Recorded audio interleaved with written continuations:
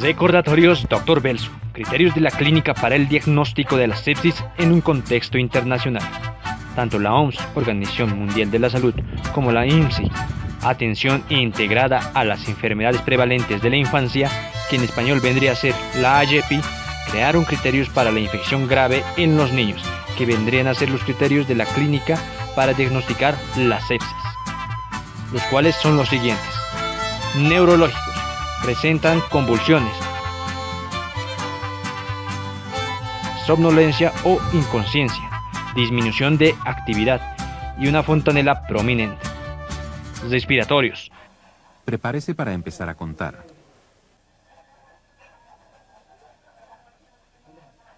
Presenta frecuencia respiratoria mayor a 60 respiraciones por minuto. Quejido.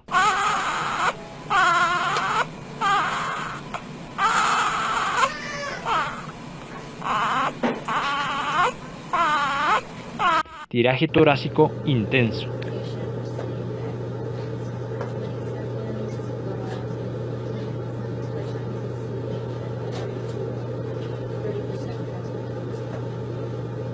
y una cianosis central.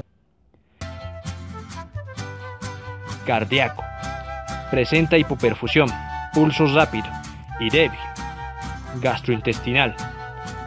Presenta ictericia, alimentación deficiente, distensión abdominal.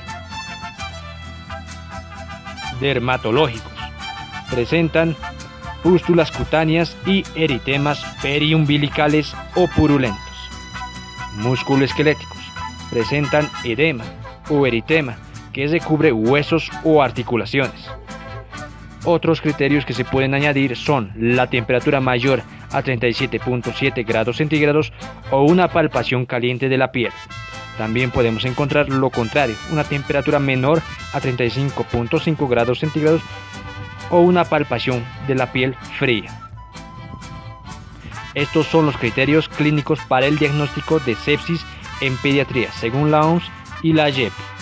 Por lo cual, memorícenlos, apréndalos y recuérdenlos. Les ha hablado el Dr. Belsu y les deseo que tengan un buen día.